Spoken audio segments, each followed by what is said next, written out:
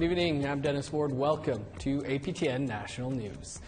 Thousands of people across the country are asking the federal government to intervene in Alberta's plan to expand coal mining in the province.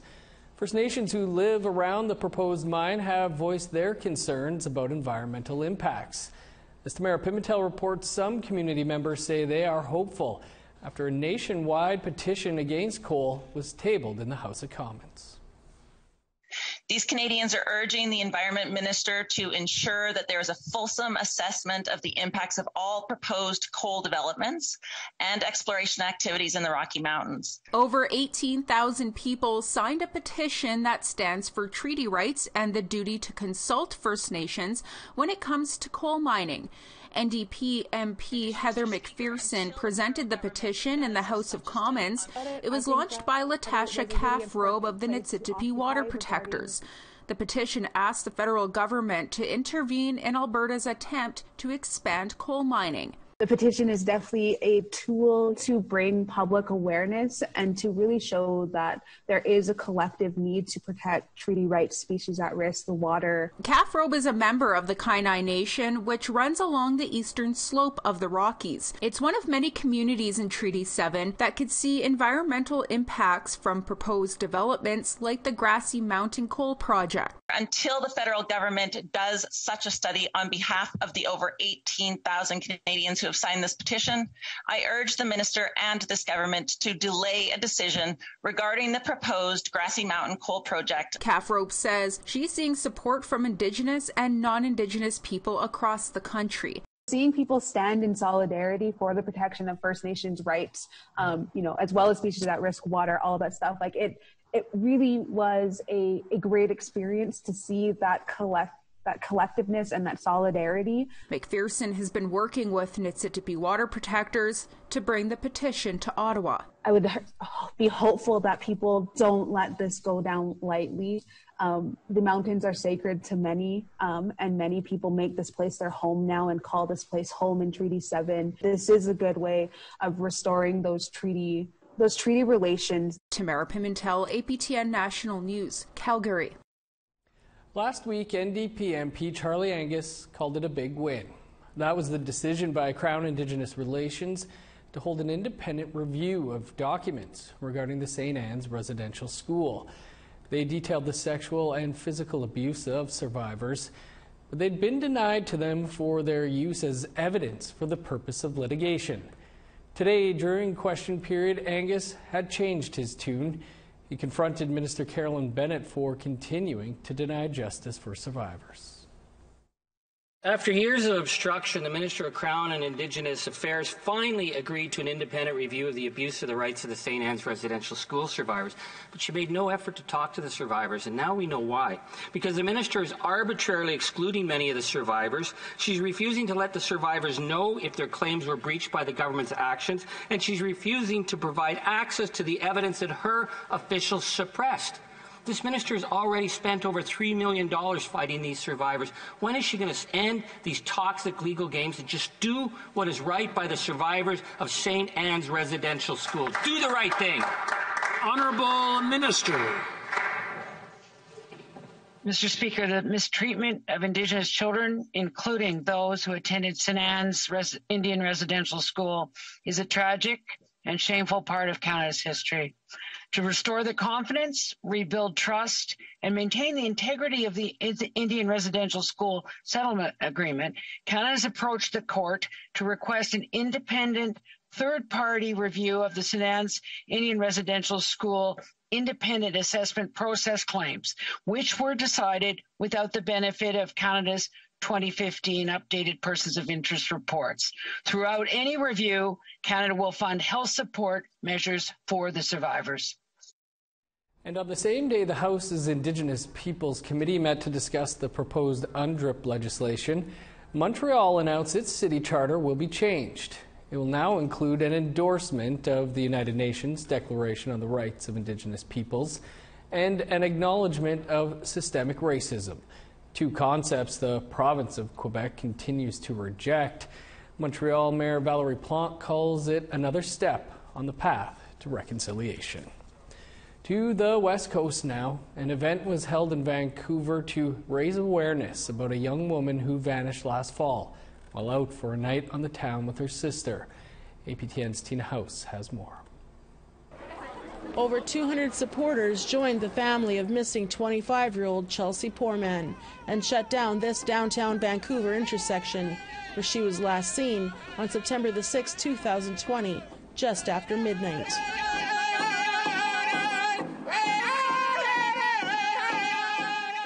So I raise my hands to all of you.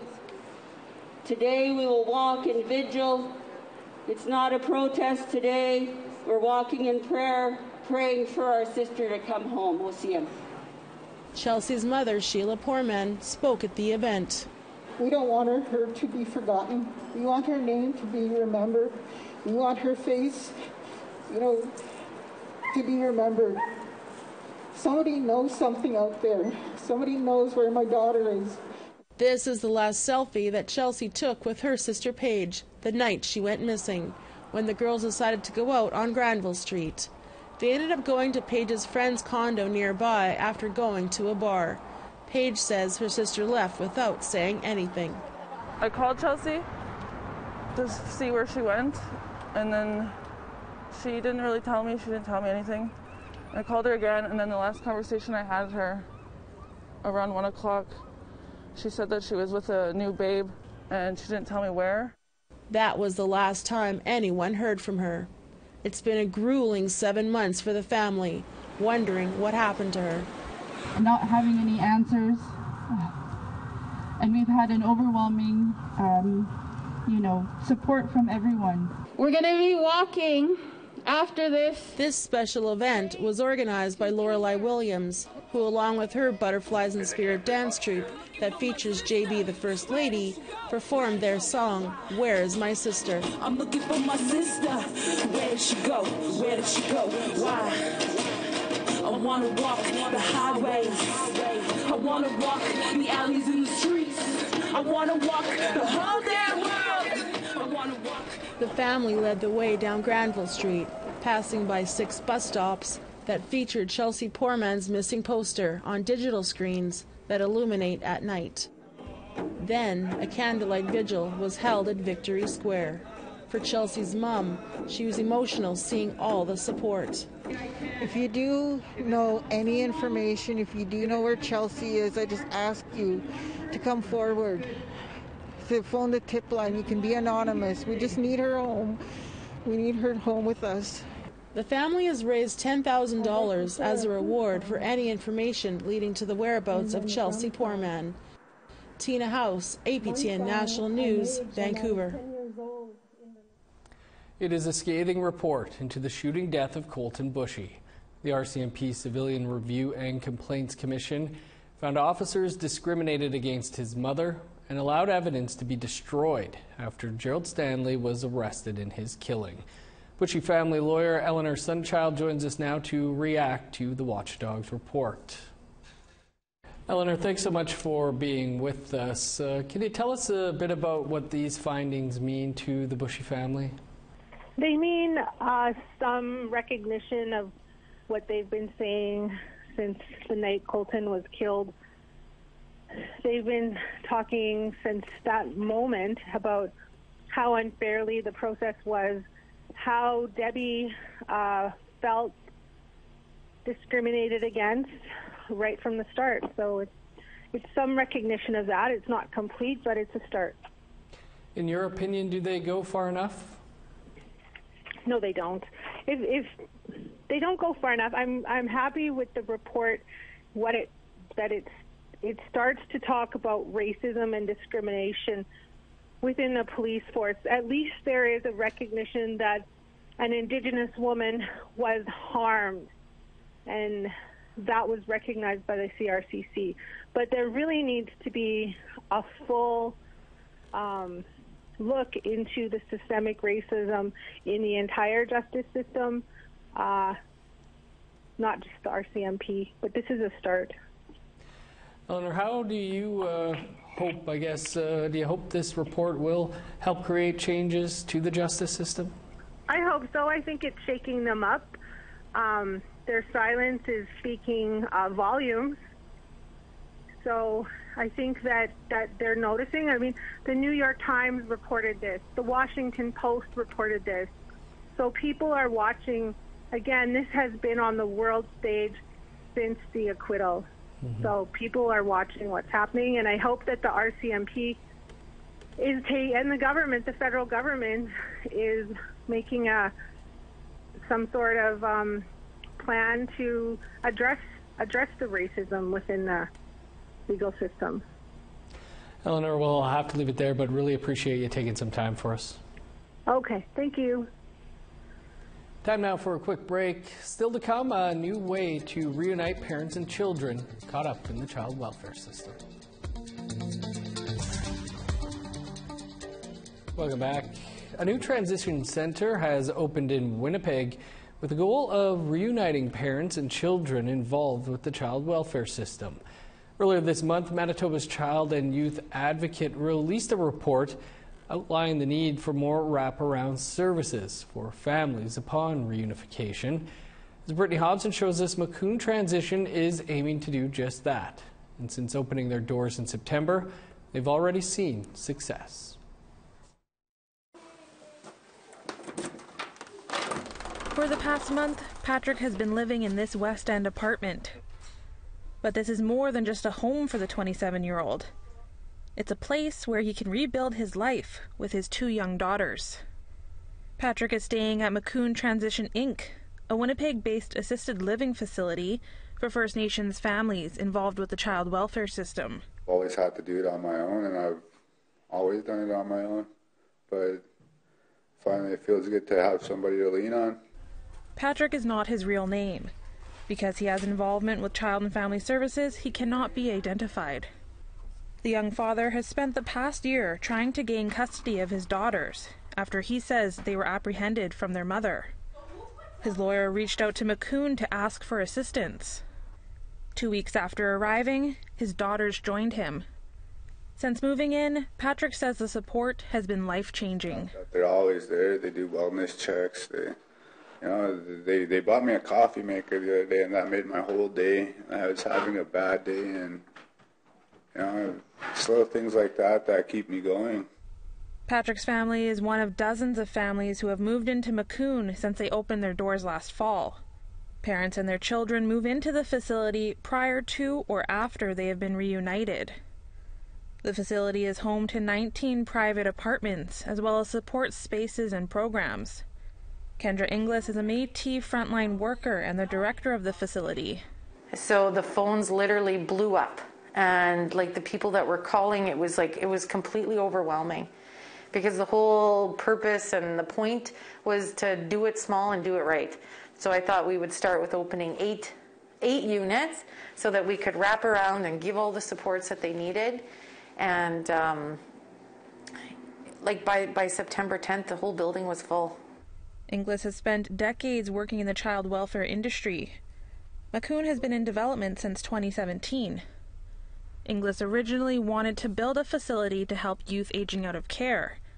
But through her work in reunification, she found parents were often dealing with similar issues. The same program that I wanted to deliver to youth was so relevant to families that were working within the reunification or prevention uh, they were working to keep their kids at home.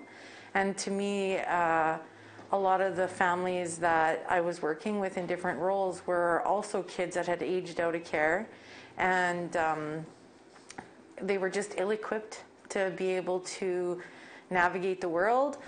Makoon aims to offer 24 hour wraparound services for families to make sure they have aftercare support when their kids come home. It's about giving the power back to the parents and letting them choose what they think they need. You know, and, and I feel like they, they take so much more from the programming when it's their choice to be there. Samantha is another single parent living with her children at Makoon. She recognized she needed help after getting two of her kids back in December and asked to move into Makoon. Immediately when I got here, I felt like the support, like people coming to my door, knocking and asking, like, "Are you okay?" Do you need any help today? You know, like what is your plans today? Those are things that every mom like getting their children back really need because sometimes we aren't okay. Samantha feels she is in a much better place than she was only a couple months ago. This is where I always wanted to get, you know, get my kids back and just thrive after that. This is the best part for Inglis watching parents do the work and leave Makoon better than when they came in. Parenting isn't easy. It really does take a village, and we want to create that village here and then create it for when they transition out.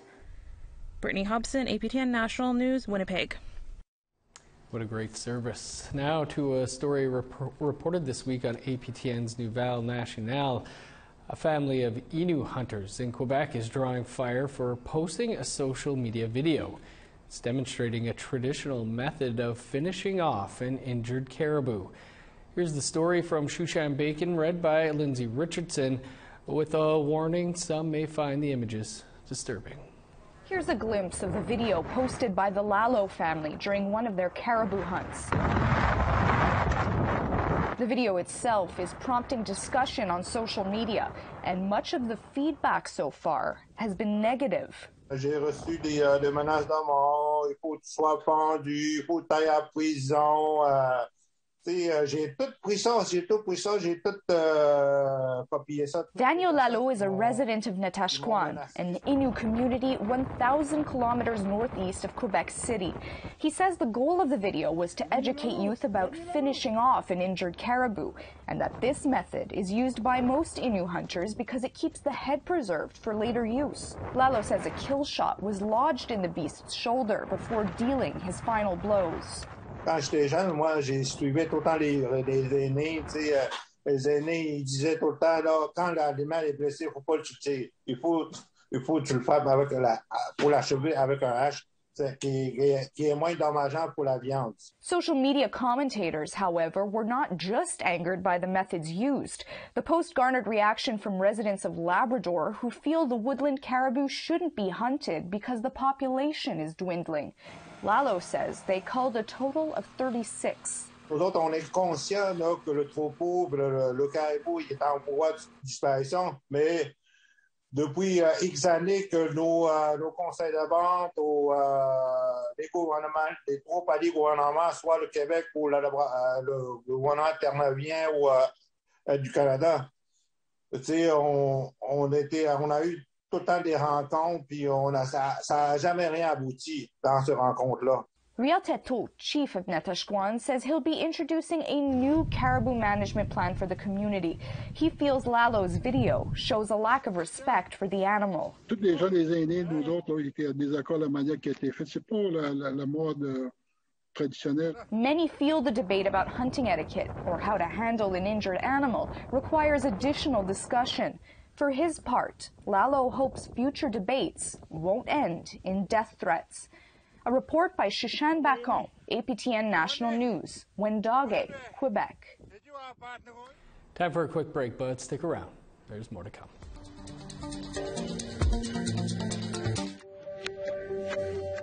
Welcome back. Time now for our photo of the day. As spring has officially arrived, Sarah sent us a picture of her daughter taken while out on a walk along the Red River in Winnipeg. And for the chance to be our next photo of the day, you can send your photo to share at aptn.ca and make sure to tune in every night to see if it's here. Well, hopefully, spring weather is here to stay. Let's take a look now at tomorrow's weather. Starting on the east coast, plus 7 in St. John's, 15 for Halifax, minus 14 in Kuujjuaq, 21 below in Inukjuak. Plus 9 for Chibougamau, 13 with showers in Val-d'Or. 8 with rain in Sault Ste. Marie, 11 with showers for North Bay. A rain snow mix and 7 for Thunder Bay, minus 2 with snow for Sioux Lookout. 19 below in Churchill, minus 9 in God's Lake. Plus 1 with snow in Winnipeg, 0 in Dauphin. 7 above for Regina, 6 in Saskatoon, plus 2 with snow in Meadow Lake, minus 7 with snow in La Ronge. Over in northern Alberta, minus 5 in high level with snow, minus 4 with snow for Fort McMurray, 10 above in Medicine Hat, plus 5 with snow for Edmonton. 9 with showers in Vancouver, 10 with rain for Kamloops, 5 in showers in Prince George, 3 with snow in Dease Lake, minus 10 in Old Crow, 4 below for Whitehorse, minus 14 in Yellowknife, minus 12 for Norman Wells. 21 below in Sachs Harbor, 18 below for Paulatuk, minus 27 in Chesterfield and Whale Cove, 23 below in Arviat, minus 27 in Resolute, Arctic Bay, and Gjoa Haven. Kraft Hockeyville Canada has announced its top four communities, and a First Nation from Atlantic Canada has made it to the final round. First prize is $250,000 for arena upgrades and a chance to host an NHL preseason game. Elsipogtog is the largest Mi'kmaq nation in New Brunswick, and hockey is a way of life that was lost when their recreation center burnt down last September. The community hopes to win Kraft Hockeyville to repair the arena and get the youth back on the ice. The public can vote online April 9th and 10th, with the winner being announced during the first intermission on April 10th at 7 p.m. Eastern. Retired NHL player Everett Sanapass and his niece Kylie Francis said the community came together to enter the contest. You know, our youth are are key. Like our youth is what we want to see achieve great things in our community. So it's just the fact that our community is being heard, and yeah. so yeah. Uh, and uh, I'm just a great uh, supporter uh, for the for for the team, and uh, and, and I hope that uh, Canada hears us and, and then supports us. And we wish the community well. Ontario NDP MP for Kiiwetinoong Sol Mamakwa was recently accused by Premier Doug Ford of jumping the queue to get his COVID 19 vaccine. The Premier has since apologized, but on tonight's episode of Face to Face, Mamakwa says the accusation is an example of what racism looks like in 2021 his stereotypes about me as a First Nations person. That's what it looks like as a, you know, uh, racism looks like in 2021. And uh, to try to put me in a place, like uh, one of the comments that he made is that that, I don't belong in that community, and that it's really uh, evident that you know he's trying to control uh, where I should be, control where as a First Nations person where I should be, where I belong. And you can catch our entire interview with Sol Mamakwa in less than two minutes' time. That is all the time we have for your APTN National News for this Tuesday. For news anytime, visit our website, aptnnews.ca, and tune in tomorrow for In Focus live at 3 p.m. Eastern. They'll be taking a look at the new $65 million Inuit Art Center in Winnipeg. I'm Dennis Ward. Thanks for tuning in. Have a great night.